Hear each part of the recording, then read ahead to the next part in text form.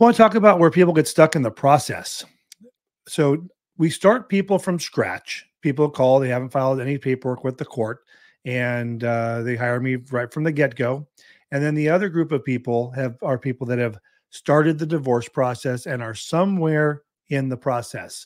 Um, some, and here's where people are getting stuck. Maybe they did their initial filing, summons and petition, and so forth. Then they get stuck. Okay, what's next? Uh, some have done that and then serve their spouse and then they get stuck. What's next? Because that's where it gets more complicated.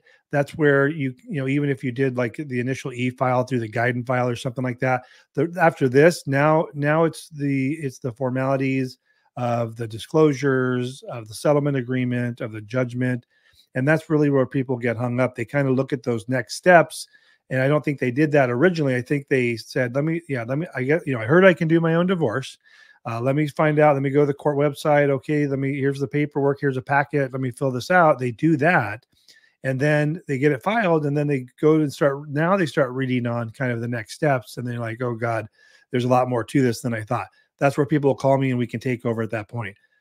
The next stage where people get stuck is when you know at any time beyond that, maybe they've they've tried to do their disclosures, or they did their disclosures, or they even went as far as doing their judgment and trying to turn in their settlement agreement and it gets rejected by the court. So I have a whole bunch of clients that we get probably a solid 50%. I'd probably, you know, if I took a look, it'd probably be really close, like 50 50 or 60 40. How many clients are new clients from the, from scratch and how many people are coming to me after they have uh, had their judgment rejected or they got stuck in the process. Um, so many so that I have a package for you. If you are uh, stuck in the process, I have a flat fee package price just for folks who got stuck in the process and they want us to take over, no matter where you're at. As long as you filed, I have a flat fee price, uh, package price. You can go to divorce661.com and look at our different packages. I make it very clear based on where you're at in the divorce if you haven't filed yet, it's one package. If there's assets and debts and kids, it's another package. And if there's, uh, we're just finalizing your case and doing a review and wrapping things up, it's another price. So I think clients like that flat, fee pricing because they know exactly what they're getting into.